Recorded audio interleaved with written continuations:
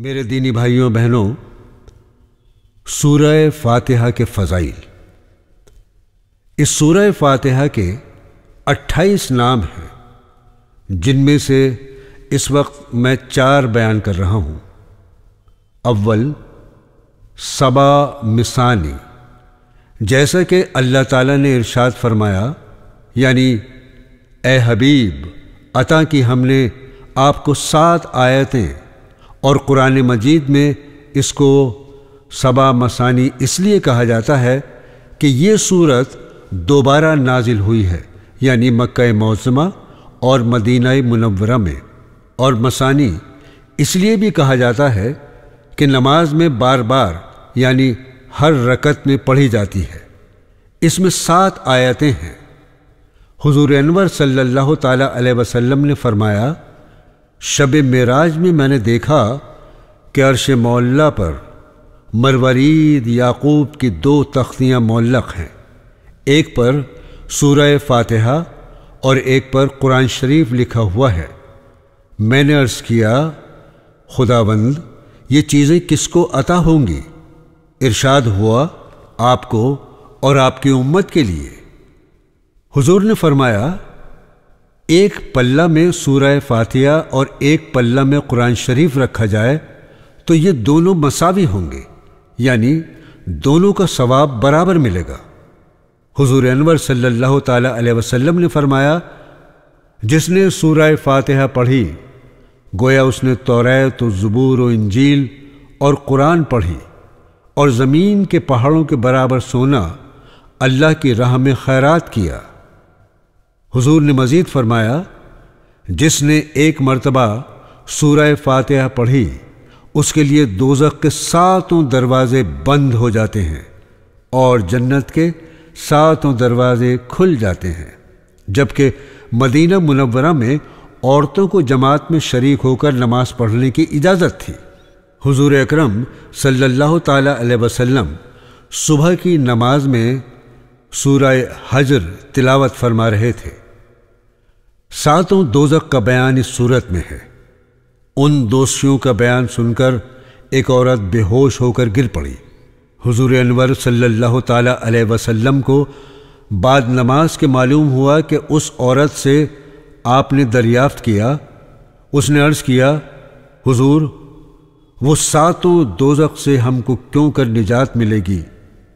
हुजूर अनवर ने फरमाया, सूरह फातिहा में सात आयतें हैं, जो हर नमाज़ के बाद सात मरतबा पढ़ी जाएँ तो अल्लाह ताला सातों दोजखों को आगों से निजात देगा। दोयम फातियातल किताब। इसलिए कहा जाता है कि कुरान शरीफ का लिखना और पढ़ना इसी सूरत से शुरू होता है।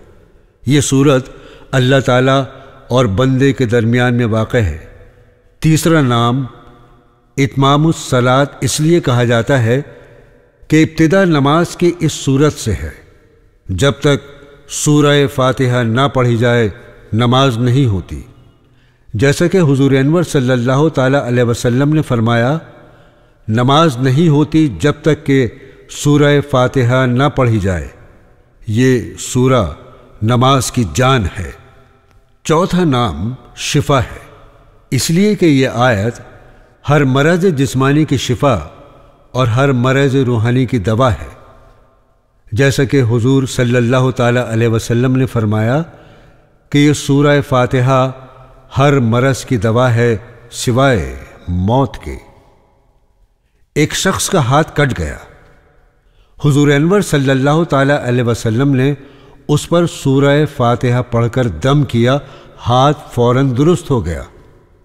एक सहाबी एक जंग फतह करके वापस हुए। इत्तेफाकन पहाड़ से नीचे गिरे, पाँव टूट गया। काफले वालों को मालूम नहीं था कि वो आगे बढ़ गए और वो रोते हुए वहीं पड़े रहे। गैब से निदा हुई कि सूरह फातिहा पढ़कर दम कर लिया जाए। वो सहाबी ने सात बार पढ़कर दम कर लिया, उसी दम पैर अच्छा हो गया, वो चले गए। एक सहाबी को सांप ने काटा। एक और सहाबी ने सात मरतबा सूरह फातिहा पढ़कर दम किया, सांप का जहर फ़ौरन उतर गया और वो बिल्कुल अच्छे हो गए। हुजूर अनवर सल्लल्लाहु ताला अलैहि वसल्लम का मामूल था कि जब आपको कसलमंदी या कोई तकलीफ़ या दर्द सर होता तो सूरह फातिहा और चार कुल पढ़कर दोनों दस्त मुबारक पर दम करके अपने चेहरा मुनवर और तमाम जिसमें अथर पर फेर लेते थे। एक सहाबी ने किसी मजनून शख्स के कान में ग्यारह मरतबा सात रोज तक सूरह फातह पढ़ी, दम किया और फिर पानी पर भी दम किया और वो पानी उसे पिला दिया तो उसका जुनून जाता रहा। हुजूर अकरम सल्लल्लाहु अलैहि वसल्लम पर जब कभी कोई मुसीबत पड़ती तो आप सूरह फातिहा पढ़कर दुआ फरमाते, उसकी मुसीबत दूर हो जाती। बाज मशाइक के नज़दीक कि जिस पर जादू या करतूत का असर हो या बहुत रोज़ का मरीज़ हो, दवा कारगर ना हो तो फजर की सुन्नत व फ़र्ज़ के दरमियान बिस्मिल्लाह रहीम की मीम को अलहमद के लाम से मिलाकर इकतालीस बार चालीस रोज़ तक बिला नागा पढ़कर पानी पर दम करके पिलाने से अल्लाह ताला सेहत अता फरमा देते हैं। शर्त यह है कि पहली तारीख से शुरू करें, अव्वल व आखिर ग्यारह ग्यारह बार द्रू शरीफ पढ़ा करें। इस सूरत में जुमला 124 हरूफ हैं। जो शख्स रात दिन में इसी सूरह को 24 मरतबा पढ़ेगा, वो शख्स क़यामत में चौबीस हज़ार पैगम्बरों की शिफात का मुस्तक होगा। एक रोज़ जब्राईल अलैहिस्सलाम हुजूर अनवर सल्लल्लाहु ताला वसल्लम के पास बैठे हुए थे कि ऊपर से कुछ दरवाजे खुलने की आवाज़ सुनाई दी। जब्राईल अलैहिस्सलाम ने सर उठाकर आसमान की तरफ़ देखा, कहने लगे, आज आसमान का दरवाज़ा खुला है, जो आज तक नहीं खुला था। इसके बाद एक फरिश्ता नाजिल हुआ। जब्राईल अलैहिस्सलाम ने कहा यह फरिश्ता अब तक ज़मीन पर नहीं आया। फरिश्ते ने आकर हुजूर अनवर सल्लल्लाहु अलैहि वसल्लम को सलाम किया और अर्ज़ किया, हुजूर, आपको खुशी मुबारक हो। अल्लाह ताला ने आपको दो नूर अता किए हैं, जो पहले किसी नबी को नहीं दिए गए। एक, सूरह फातिहा। दूसरी सूरह बकरा की आखिरी आयतें